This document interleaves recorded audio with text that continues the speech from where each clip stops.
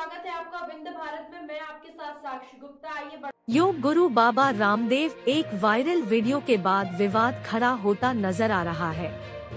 रामदेव के इस viral video में वह कथित तौर पर अन्य पिछड़ा वर्ग के खिलाफ टिप्पणी करते दिख रहे हैं। हालाँकि विवाद खड़ा होने के बाद रामदेव यह स्पष्ट करने के लिए आगे आए कि उन्होंने अपने बयान में एआईएमआईएम नेता अजदुद्दीन ओवैसी पर निशाना साधा था।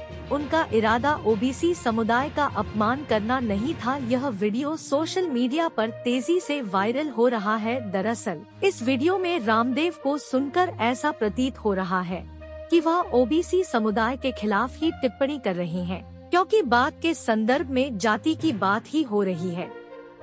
वीडियो में रामदेव पहले खुद को बाहमन बता रहे हैं।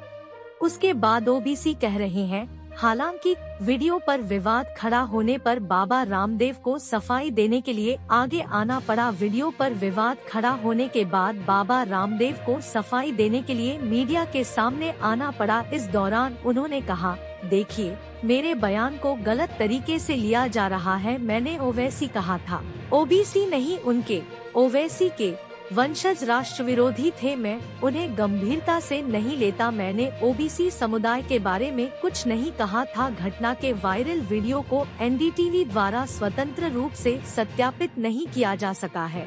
लेकिन इसमें कथित तौर पर बाबा रामदेव को अपनी ब्राह्मण पहचान की घोषणा करते हुए और अग्निहोत्री ब्राह्मण सहित विभिन्न ब्राह्मण गोत्रों को सूचीबद्ध करते हुए दिखाया गया है। योग गुरु ने बताया, मेरा मूल गोत्र ब्रह्मा है।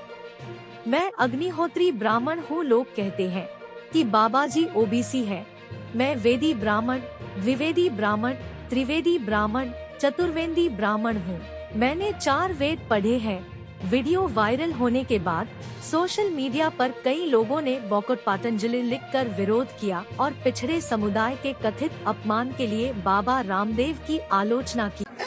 हमने तो कोई बैन नहीं दिया। आपने बोला था ओवैसी के एसी की तेसी ओबीसी के एसी की तेसी ओवैसी?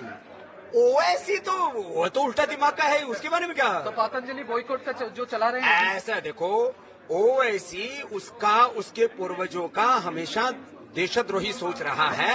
उसके बारे में हमको कोई गंभीरता से नहीं नहीं सर ओबीसी। ओबीसी का नहीं है। ओबीसी का हमने कभी कुछ उल्टा नहीं बोला ठीक है?